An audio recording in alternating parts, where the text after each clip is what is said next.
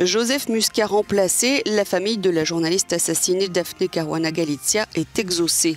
Ce dimanche, fort du vote de 17 000 membres du Parti travailliste, Robert Abella, avocat de 42 ans, est devenu le nouveau Premier ministre de Malte. D'entrée, il a reconnu des erreurs et promis de renforcer l'état de droit, mais il dit aussi s'inscrire dans la continuité de Joseph Muscat. Muscat doit laisser sa place aujourd'hui, deux ans et demi avant la fin de son deuxième mandat, après des mois de crise autour de l'enquête sur la mort de Daphne Caruana Galizia. Depuis novembre 2019, il est accusé d'avoir couvert son chef de cabinet Kay Chembri et le ministre du Tourisme Konrad Mizzi. Les noms des deux hommes étaient déjà parus dans le volet maltais des Panama Papers creusés par Daphne Caruana Galizia. Elle avait révélé qu'ils avaient ouvert des comptes au Panama sur lesquels des fonds occultes auraient été versés par une société basée à Dubaï, la 17 Black.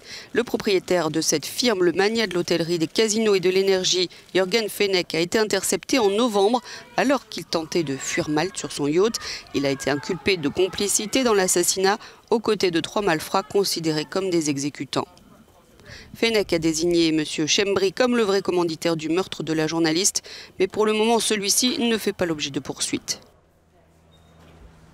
Ceux qui réclament la vérité à Malte espèrent que la nomination de Robert Abella ouvre une nouvelle ère et que l'assassinat de Daphne Caruana Galizia soit bientôt puni. À Malte, pour Euronews, Laurence Alexandrovitch.